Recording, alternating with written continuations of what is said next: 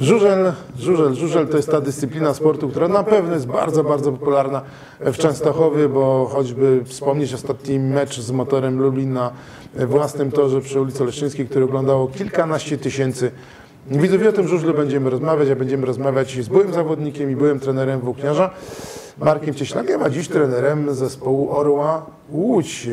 Właśnie Mm, tak jeszcze parę miesięcy temu, jak Cię gościłem, to tak, a, no może, może, jakby mi ktoś, ale może.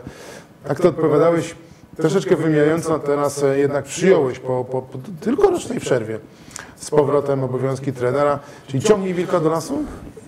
No powiem, że myślałem, że to już będzie mm, koniec z moją pracą w klubach. Ostatni rok byłem w Tarnowie, ale więcej to byłem w Azotach, aniżeli w Unii. Tam też mieli swojego trenera, Staszka Burze. Ja tam niby trochę tam się kręciłem, pomagałem, ale to powiem, że albo się rządzi, albo, albo się nic nie robi. Potem kompetencje się, kurde, jak ktoś mówi, krzyżują. Mm, myślałem, że zostanie mi tylko ta telewizja, no bo telewizja tam dalej chce. Yy, no ale dostałem telefon, na dzień dobry było, niech będzie pochwalony. Sobie, zaraz sobie myślę, kto tak może do mnie mówić. Powiedziałem na wieki wieku, ale się zastanawiam. Mówię, no nic, tylko, tylko pan Witek Skrzydlewski, bo kto. No i rzeczywiście. No i tam mnie pozapraszał do siebie e, przy okazji jakiegoś właśnie gdzieś meczu, gdzie jechałem tam komentować no to przejeżdżałem przez Łódź, no i tam pogadaliśmy dosyć długo, bo pan Witold lubi opowiadać i to tak dosyć tak fajnie.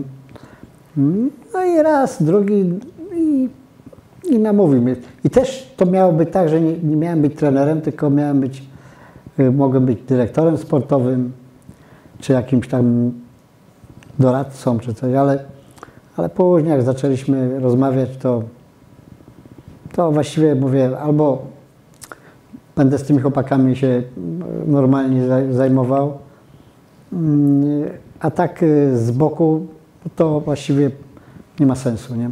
Tylko powiedziałem, żeby był jeszcze jeden trener, bo różnie może być, prawda, że y, dużo tych imprez młodzieżowych, poza tym no też powiem tak, nie chce mi się cały czas siedzieć i, i wszystkiego doglądać, więc to mówi, wybierz sobie trenera. No to mówię, to był tutaj Świderski, no to, to, to i niech będzie dalej, bo zna tutaj, jak to się mówi, obejścia.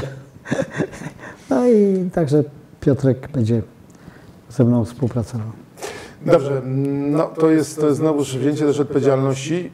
Ty rządzisz, ty decydujesz o pewnych sprawach, ale też odpowiadasz już za co procent za pewne rzeczy na co ten twój zespół stawia. Ja wiem, że takie pytanie przed sezonem to jest takie wróżenie trochę z fusów, mm, ale on, one, one niestety padają, no bo po prostu są takim naturalnym pytaniem, oczekiwaniem też, też kibiców, więc y, wiem, że będziecie walczyć o zwycięstwo w każdym meczu, ale, ale patrząc po składzie, patrząc po tym, czym dysponujesz, to jesteś tu w stanie wykrzesać parę procent więcej niż by się wydawało, że można wykrzesać? Ja mam taką nadzieję, ale jak będzie, no to co się dopiero okaże. No rzeczywiście, yy, jak się patrzy na skład, to na pewno nie jesteśmy faworytem ligi, bo yy, są składy mocniejsze. Yy, przede wszystkim Falubas, Polonia Bydgoszcz, Ostrów jest mocny. No i nie wiadomo, co taki Rybnik, czy tam ktoś jeszcze po prostu może zrobić. Skład był budowany, można powiedzieć, tak y, na 5-12, bo mm, dziwnym trafem pięciu zawodników z Orła mm, zapragnęło zmienić barwy klubowe, prawda? I tego też nie mogłem zrozumieć, dlaczego, bo, bo co by nie mówić o, o moim szefie, to jedno jest pewne, pieniądze płaci. Także nikt nie może powiedzieć, że, że mu nie zapłacił. Jak co jakieś względy zadecydowały. Także ten skład budowaliśmy później. Yy, można powiedzieć, prezes oczywiście udzielał się mocno, no bo wiadomo, że on trzyma koperty. ale, ale tam już było moje nazwisko, mimo że jeszcze byłem w Tarnowie, to już, y, m, że ja będę, zawodnicy do mnie też dzwonili. Skład jest zbudowany, powiem, to nie jest słaba drużyna. To y, można powiedzieć, że y, jest kilka nazwisk, które, które mogą w tej pierwszej lidze y, dobrze jechać. Iversen, co prawda ostatnie dwa lata miał, można powiedzieć, takie sobie, ale końcówkę już miał dobrą. Y, Wygrał turniej mm, w Rybniku. Na koniec Lachti, to też jest dobry zawodnik. On potrafi jechać, jest szybki. I do tego Gapa, Gapiński, który, który mm, Ekstraliga to, jak to się mówi, za wysokie y, progi dla niego, ale Jamruk. Na U24 jest Tonder, y, który gdyby miał więcej może możliwości startu w Zielonej Górze, to, to by lepiej jechał, bo jak go wstawiali, to nieraz pojechał trzy biegi i trzy biegi wygrał. Yy, No i mamy jeszcze dwóch juniorów, trzech juniorów. Na tą pierwszą ligę, no to nie są, jak to się mówi, orłami, ale i też nie są tacy, takimi całkiem słabymi, czyli Mateusz Dul i, i Olek Grygolec, no i taki Jakub Sroka. Mamy też fajnego Anglika, Toma Brennana, który w zeszłym roku jeździł w Mistrzostwach Świata Juniorów. Ale mamy też jeszcze takie niespodzianki. Czyli mamy kontrakty warszawskie podpisane y, z, z, z Aspergrenem i y, Słoweńcem Skorią.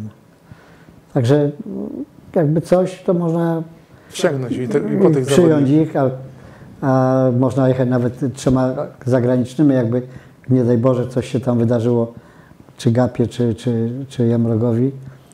I, i, Skład na pewno jest ciekawy. i wtedy, wtedy, wtedy na przykład jechać y, Iversen, Lachti i y, Aspergren, to już jest, to jest duża siła.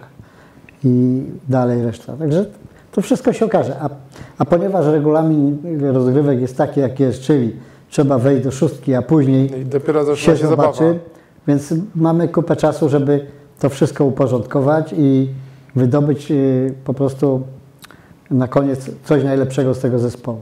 Zwłaszcza, że obiekt piękny, łódzka Mota Arena i Tak. na pewno te zawody ekstraligowe wyglądałyby fantastycznie na tym stadionie. No i ten tor jest bardzo dobry.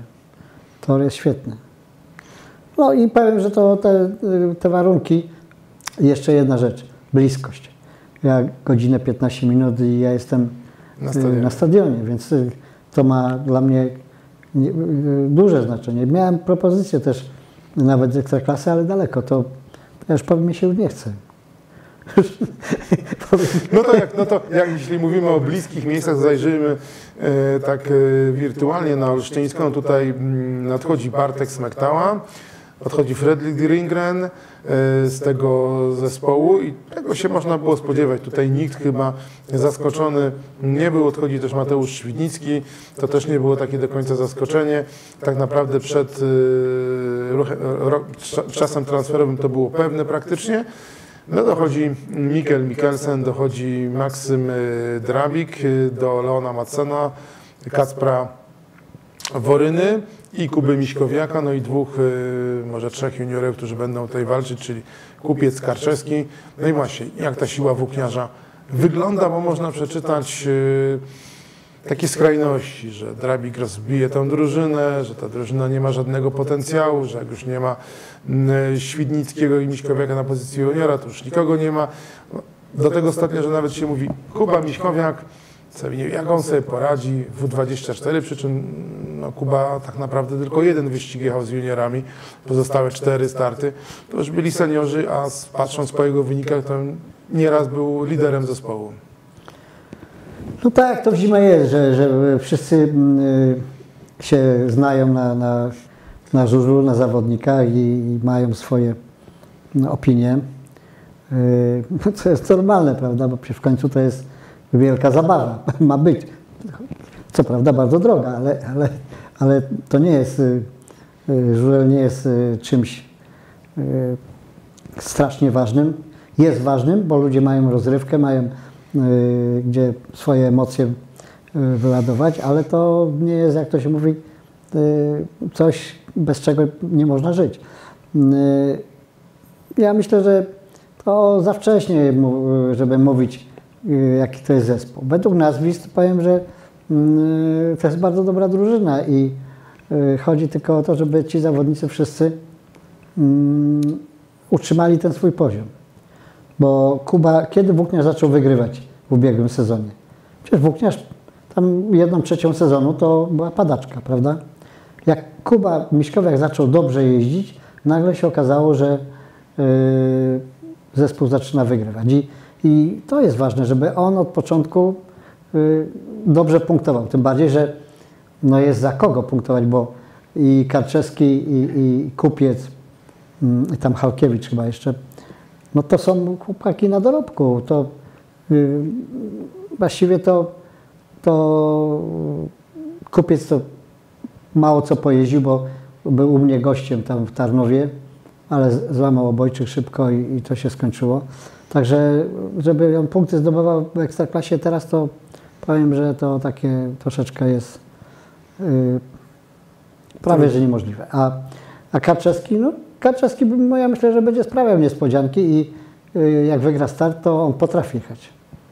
On jak je, jedzie pierwszy, to powiem, że jedzie bezbłędnie i mm, myślę, że duży potencjał jest z nim, ale to też nie jest to, też, dlatego ci zawodnicy, ta piątka tych seniorów, no musi ciągnąć ten wózek i oni muszą, yy, musi, muszą sobie zakładać, że z biegów juniorskich mamy jeden punkt, prawda?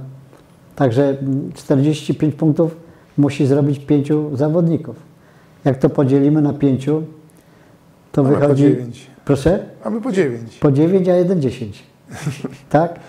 Żeby 45. Nie, nie, nie. Pi- Pięciu po 9, równo, równo, A, wtedy tak. równo. No, tak, no. jeden punkcik dorzucają. No to proszę bardzo. To, I to nie bonusy, to się liczy y, Czyste punkty. czyste punkty. Więc to jest trudno. Y, ale, ale to jest możliwe, prawda? No, w zeszłym roku Gorzów y, na juniorach praktycznie nic nie miała. y, Tak, otarł się- jest wicemistrzem a Polski. otarł się o, o, o mistrzostwo. Właśnie, a ta liga przyszłoroczna, znaczy tegoroczna, przepraszam, bo mm, przyszłoroczna mówi o tym sezonie, który się zacznie w przyszłym 2023, będzie bardziej, bardziej wyrównana przez to, że na przykład, y, nie wiem, wracają Rosjanie jak Sajfudinow, jak Łaguta, mm, przez to, że nie wiem, doszło do jakichś ruchów transferowych, przez to, że Krosno, które jest w, dzisiaj w roli Beniaminka, jest na pewno, przynajmniej na papierze, mocniejszy niż była Ostrowia, Ostrów y, Wielkopolski, to ona będzie ciekawsza, taka bardziej y, s- y, no, wyrównana. GKM też ten skład troszeczkę ustabilizował, y, bo tam w Grudziądzu się długo, długo nie mogli doczekać playoffów. Mają nadzieję, że to się uda w tym sezonie. No na papierze, jak się spojrzy, to wydaje się, że mm, liga jest podzielona na, na pierwsze cztery zespoły, czyli, czyli Sparta, Włókniarz, y, Toruń i to tam był czwarty, i, i Lublin. I potem cztery zespoły. Ale jak się zna życie, to się okaże, że pojedzie, mm, dajmy na to Włókniarz do, y, na pierwszy mecz do Grudziądza. do Grudziądza i może się pocić, żeby wygrać, prawda? Bo jednak gospodarze u siebie, yy, no to zawsze są mocniejsi niż na wyjeździe, prawda? Także yy, myślę, że me- mecze yy, będą fajne, nawet między tymi bardzo dobrymi drużynami, a tymi niby słabszymi. Ale, ale ja myślę, że za darmo nikt punktów nie, nie, nie będzie zdobywał. I emocje, emocje będą. Dobrze, a dobrze, że wracają Rosjanie. Owszem, to są tylko ci, którzy mają polskie paszporty. No, niedobrze? moja opinia była inna. Moja, moja opinia była taka, że jeżeli, bo co, zawieszono Rosjan, prawda? Mhm. I co się zmieniło, że ich odwieszono? No nic się nie zmieniło. Wojna jak jest, tak była, prawda? A polskie obywatelstwo, no to przecież to jest, y, jak powiem, no przedtem też mieli polskie y, obywatelstwa, a jeździli jako Rosjanie. Bo tu oni dzisiaj dużo gadają, y, bo on ma polskie obywatelstwo i jemu się należy. To czemu nie jeździłeś jako Polak y, przedtem, tylko jako Rosjanin? Czemu medale zdobywałeś dla Rosji, a, a, a no bo, bo sami mówili, bo ja się czuję Rosjaninem. Dzisiaj już się nie czuję Rosjaninem, tylko, tylko chcę mieć ten polski paszport. Ale ja nie mam nic, bo to są zawodnicy i ja bym to w politykę w to nie mieszał. Tylko powiem tak, jeżeli y, dopuszczono tych dwóch, y, no i trzeci Kudriaszow, który teraz y, y, dowiedzieliśmy się o jego problemach zdrowotnych, to ja powiem wszystkich ruskich bym dopuścił. Bo jaka jest różnica między y, Kimś to udaje Polaka, który, który ma a kimś to nie papier, może udawać? a, a, a który nie ma papieru, i, a jeździ tu w Polsce już ileś tam lat, prawda? Y, I ja, ja, ja mówiłem, jak już, to wszystkich. A myślisz, że gdyby to zostało zrobione, że wszyscy, to ktoś by zakontraktował Łagutę, Gryszę Łagutę, bo trochę wywołałeś tak gdzieś u mnie takie pytanie, czy nie? Czyli mimo nawet Jak braku ja znam powiem, środowisko i prezesów, to nie jeden by go zakontraktował. czyli nikt się nie, nau nie nauczył. Dobra, to nie będę tego rozwijał, tego tematu, żeby się nie narażać na jakieś rzeczy, ale, ale no, wydaje mi się, że już po, po paru latach to może ktoś się czegoś nauczył. Natomiast y, mm, no, Rosjanie będą, nie będzie ich w mistrzostwach y, świata. Na pewno. No i to na pewno kolejny sukces też Bartka Zmarzlika, wysokie drugie miejsce w plebiscycie przeglądu sportowego. To pokazuje, bo przegrywa tylko z Igą Świątek. Jednak ten żużel przez postać tego Bartka jest rozpoznawalny. Ale z drugiej strony, że takie opinie czytałem, nie wiem, czy się z nimi zgodzisz, że trochę się nam znudziło wygrywanie tego z Marzlika. Mnie się nie znudziło, ale takie opinie czytałem. Ja powiem tak. Y, Ja myślę, że y, jak Bartek przegra, to dopiero zobaczymy, co ci ludzie będą y, opowiadać na ten temat. Fajnie jest, że, że mamy chłopaka, tak świetnego zawodnika, i który, który daje nam tyle, jak to się mówi, radości, że wygrywa. No, troszeczkę to się wszystko popsuło właśnie przez tych Rosjan też, że, jednak e, w zeszłym roku nie jeździł mistrz świata i, i brązowy medalista, prawda? E, Ani Łaguta, ani, ani, ani i, i dlatego ten, ten poziom tak troszeczkę można powiedzieć, że e, spadł, prawda? A myślę, że to tylko malkontenci tak szukający dziury w całym będą mówili, że Bartek wygrywa, to nam się znudziło. Nie. Kiedyś wygrywali Małdżery, nie Małdżery, czy tam Brixy i, Nielseny, Rickardsony i, i wszystko się kręciło dalej. Dobrze, a jest y, taki moment dzisiaj w żużlu, że kończy się, jak to się tak ładnie nazywa, żużlowe Eldorado. No i mówimy najlepsza żużlowa Liga Świata, mówimy o Ekstralidze. Pierwsza też do słabych nie należy, bo mecze były bardzo momentami ciekawe w 2022 roku, jak się obserwowało. Ja te mecze obserwowałem, były bardzo ciekawe. No i w drugiej lidze miał zapewne poziom ym, różni ją, ją od na przykład ekstraklasy, ale nie wiem, na torze te, takim dosyć technicznym Moim zdaniem w Opolu było mnóstwo ciekawych wyścigów, ale kończy się żużlowe Eldorado, czy ono trwa? Bo mówimy to o zarobkach, no bo wszędzie w tle są pieniądze. Tak, nie podając kwot, ale tak z obserwacji twojej. Ja uważam, że no, zawodnicy powinni zarabiać, y, jak to się mówi, dobre pieniądze za swoją robotę, bo zainteresowanie jest. Telewizja też już y, dokłada się finansowo do, y, do tego wszystkiego. Y, To znaczy w Polsce, jak zwykle, została jakaś granica przekroczona, jeżeli chodzi o, o, o te pieniądze dla zawodników. To już niekiedy nie trzyma się, jak to się mówi, zdrowego rozsądku. Bo po pierwsze, kluby w Ekstralidze to są y, spółki, które mają, jak to się mówi, utrzymywać się y, i zarabiać pieniądze. A jeżeli u nas spółki istnieją dlatego, że, że miasto da, że y, sponsorzy dadzą, że mm,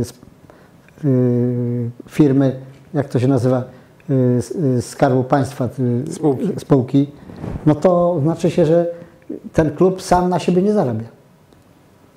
Bo jakby zabrać te pieniądze wszystkie, które dostaje, no to y, leży na, się mówi, na łopatach, nie? No, także, także y, ja myślę, że czeka y, y, w najbliższym czasie nasz piękny sport, jakaś tam rewolucja właśnie mm, finansowa, bo po prostu Już dzisiaj widać y, na przykład sprzedaż y, biletów na, na Grand Prix w Warszawie. Nigdy nie było tak, tak słabo, prawda? Ale to się wiąże z ogólną naszą sytuacją, że ogólnie jesteśmy cały czas biedniejsi, a mało tego, jesteśmy wystraszeni, co będzie dalej, prawda? I, No, i, i jak to powiedziałeś, twój szef właśnie to powiedział. Jeśli dobrze pamiętam ten cytat, to nie, nie zacytuję, ale, ale coś takiego, że jakby zwrócił uwagę, że będzie wybór, czy kupić bochenek chleba, czy iść na mecz, więc raczej ktoś kupi bochenek chleba. Coś takiego mniej więcej z wypowiedzi. No, mój szef jednak jest życiowym człowiekiem i, i, dużo wie. Zresztą analogie to się, historia kręci się, się kołem. I myślę, że niektórzy w tym roku przelicytowali się. Bo można powiedzieć, że Łódź też mogła mieć mocniejszy skład. Tylko prezes mówi, ja dam tyle, ile, ile ja wiem, że mam, że dam. A powiem tak, że mi się to wydaje, że tam 80% y, to po prostu poszło w bank. I, tych zawodników zakontraktowali za tak olbrzymie pieniądze, licząc, że, że, że wyrobią z tym wszystkim, prawda? A się okaże, że może wielu nie wyrobić, a regulamin się zmienił i teraz już nie ma tych lewych, jak to się mówi, drugich umów, gdzie y, klub po prostu miał umowę y, określoną y, przez regulamin, że tyle za podpis, tyle za punkt. I PZ Moc z tego go oblicza, y, Ekstraliga, z niczego innego. A te pieniądze, które tam były za reklamy, za różne rzeczy, to była całkiem y, inna sprawa. I zawodnicy cierpieli, bo później kluby to płaciły, nie płaciły. Y, Do dzisiaj wielu się dopomina o te pieniądze, a teraz już nie. Podpisz sobie ile chcesz i z tego będziesz rozliczany. I się może okazać y, w listopadzie, że no niestety, ale niektórzy będą musieli zamknąć po prostu biznesy. Oby się tak nie stało, chociaż y, trener Marek Cieślak ma trochę doświadczenia i wie o czym, o czym mówi, abyśmy przeżyli ciekawy sezon zarówno w PG Ekstralidze, jak i, jak i w pierwszej lidze i powiem tak, jak nie będzie akurat zawodów ligowych na stadionie Włókniarza, to zapraszamy serdecznie do Łodzi, prawda? Tam y, Blisko. u- ulicę możesz przypomnieć, bo to stadion, nie- czy nie pamiętasz? Sprawdzimy trenera, czy Wiem, pamięta. Proszę, słuchamy. no, droga na Gdańsk. na Gdańsk. Tak, Po, dokładnie. po prawej stronie. A, po lewej stronie jest arena, tam y, w Łodzi, prawda? Moto Arena. Tam jest y, stadion y, piłki y, Tam jest niedaleko ŁKS. ŁKS. I po drugiej stronie jest właśnie piękny stadion Żużlowy. Dodamy, proszę Państwa, że to stara droga na Gdańsk, żebyście Tak, Państwo nie, nie szukali tego przy autostradzie. Tam wcześniej był taki stadion, który, no, jeśli go porównać do tego, no to, to wyglądał jak tak mniej więcej z lat 60., a ten wygląda jak z XXI A ten wieku. stary stadion. Ten stary stadion, tak, tak, tak, na którym też, Ja na nim jeździłem pierwszy raz w życiu w 70 roku. o, proszę Państwa, Czyli, to jest czyli historia. ile? 53 lata temu. To jest historia, to tak samo jak poprzedni stadion w Toruniu, który też był parę, A, no nie wiem, dwa kilometry, A, trzy, ten- się dobrze pamiętam, stadion- od, od Moto Areny. ten stadion y, w Toruniu to, to, to miał duszę. O, Miał duszę Tam się wchodziło, i, to- i tam w 96 roku też sukces tam świętowałeś. żeśmy świętowali sukces. No to zobaczymy, czy Włókniarz będzie świętował sukces. Będzie, Będzie? będzie, będzie. Będzie. Bo mnie poproszono o jakieś typy. No, nie powinienem tego robić, no bo ja jestem już trenerem w innym klubie. Ale Ekstraliga no to nie jest konkurencja. Wytypowałem Włókniarza na brązowy medal. Ale może się pomyliłem, czego życzę Włókniarzowi i wszystkim kibicom, że, że niech, niech powiedzą, że się nie znam w ogóle na życiu, a Włókniarz będzie wyżej. No to, to, to tym razem, tym razem niech będzie, e, jestem za słowami Marka Cieślaka, żeby było, że tym razem się pomylił, bo no, w kibice w Częstochowie czekałem dwie dekady, równo w tym roku 2023 mija. Ja pamiętam ten 2003 rok, ten entuzjazm, te tłumy kibiców na stadionie, te miejsca, gdzie trzeba było w całej Częstochowie były punkty sprzedaży. Oby nam się to powtórzyło, bo to tak jak już e, powiedziałem w jednej z rozmów z prezesem Rakowa Adamem Krawczakiem, to może być historyczny rok dla Częstochowy. Pierwszy tytuł mistrza Polski w piłce nożnej i miejmy nadzieję po 20 latach tytuł mistrza Polski dla włókniarzy. Jak nie oglądałem meczy pierwszoligowych, tak ekstraligowych, to teraz y, oglądam. Rakowa tylko. Co, to czekamy e, i życzymy też Orłowi e, jak najlepszych wyników i zapraszamy serdecznie na Stadion Orła, jak nie będzie zawodów ligowych w Częstochowie. Może się nie pokryją te kalendarze, to na pewno będzie sporo emocji. Moim Państwa gościem był Marek Cieślak, trener zespołu Orła Łódź aktualnie, bo przecież były e, trener i wielokrotny medalista z reprezentacją Polski i były trener i zawodnik Włókniarza Częstochowa. Dziękuję Ci za rozmowę. Dziękuję.